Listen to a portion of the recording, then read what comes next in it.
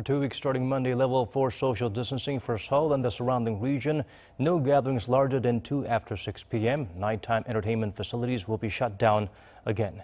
Eun-ji sheds light on what the highest level on the four-tier system would mean.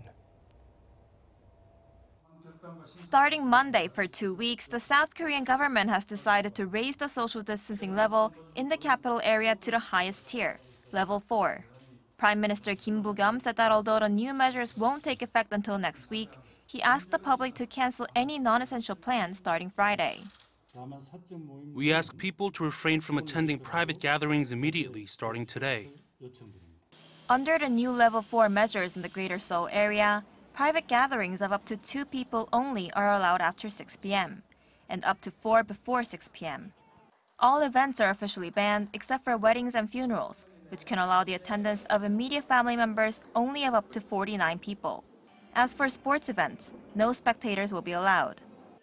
Religious facilities will not be allowed to hold face-to-face services, so events, eating, and religious retreats are banned. Meanwhile, workplaces are advised to have 30% of their employees work from home, except for manufacturing workers. As for public facilities, restaurants, coffee shops, movie theaters, indoor sports facilities, and PC rooms will have to close after 10 p.m.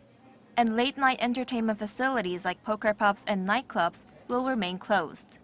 The Supreme Court has advised courts in the capital region to postpone or reschedule hearings for the next two weeks. So starting next week, even if you are meeting an immediate family member, gatherings of more than two people will not be allowed after 6 p.m. Until this week, the government had made exceptions for gatherings of immediate family members, allowing up to eight but this exception is scrapped starting Monday. However, those living together will be allowed to visit restaurants even if there are more than two people. And if you're at a restaurant or coffee shop with four people, two will have to leave before 6 p.m. If found violating this rule, there will be fines of 100,000 Korean won or around 87 US dollars for individuals. For facilities, there will be fines of 3 million Korean won or around $2,600. As for mask mandates, everyone in the capital region, including those who are fully vaccinated, are required to wear masks. Bae Eun-ji, Arirang News.